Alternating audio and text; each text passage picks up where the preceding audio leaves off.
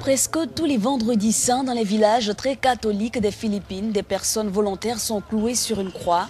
Et cette année, ces régions de l'archipel n'ont pas failli à la tradition. Crucifixion et flagellation ont dominé la journée du vendredi. Pour Willy Salvador, ce pêcheur de 59 ans, faire ce parcours qui retrace les moments forts de la passion du Christ est un acte de foi.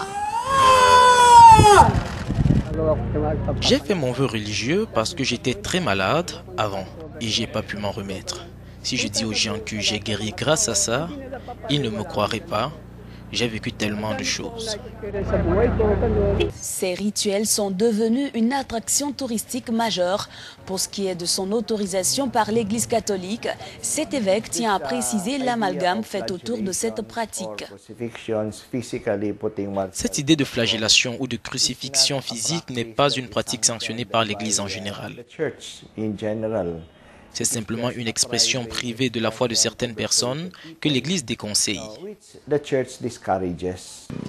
Toutefois, ces fidèles des régions rurales des Philippines admettent que ces actes de pénitence sont un peu plus radicaux que ceux prescrits par l'Église le vendredi saint.